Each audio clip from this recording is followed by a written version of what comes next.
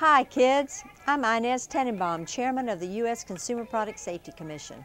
I hope your school year is going well and that your day is filled with reading, writing, and spending time with friends. At the CPSC, we're all about keeping kids like you safe. Safe in your home and your backyard, safe as you ride to and from school, and safe while you're on the playground or the ball field. Now, I could tell you all about the best ways to stay safe at school, but I believe that hearing from kids just like you is a great way to learn about safety. Always wear the right helmet! Wear a helmet made to protect you when you ride a bike, a skateboard, or a scooter, not one made for football or baseball.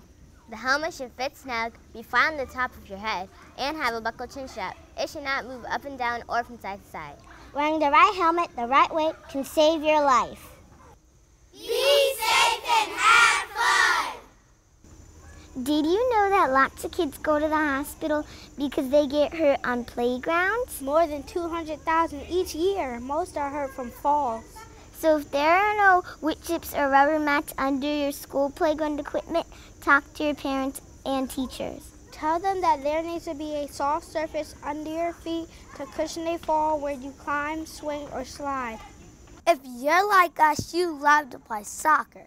But did you know climbing or hanging on soccer goalposts is very dangerous? It can fall over and really hurt you or others standing near the goal.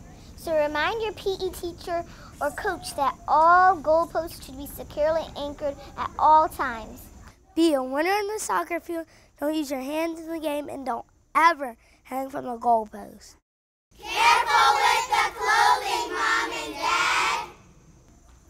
Have lots of sweatshirts, hoodies, and jackets in your closet. But if any of your jackets or sweatshirts have a drawstring in the neck or waist area, ask your parents to cut the string off.